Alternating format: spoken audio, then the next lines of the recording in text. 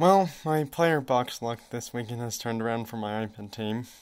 You've already seen this player before, Juan Gomes, who I pulled yesterday from the TSB Web Gem box, who's my new catcher.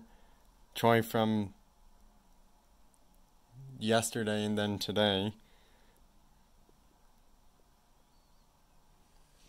Or I think both times yesterday, I'm not entirely sure, sorry. Ji-Man Choi. I think I got him yesterday twice actually. Sorry, did not mean to click that button.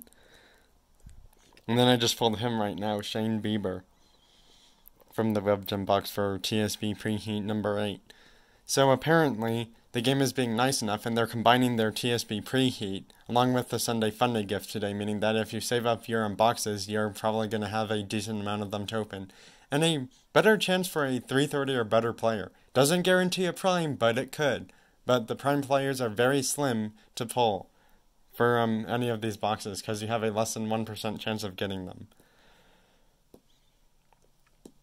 So yeah, there's Gomes, Choi, and Crawford. Another player I got this weekend. Oh, and I forgot I still have Kyle Higashioka, who's now at Platinum Level 1. Gonna do that just because he is a bit newer.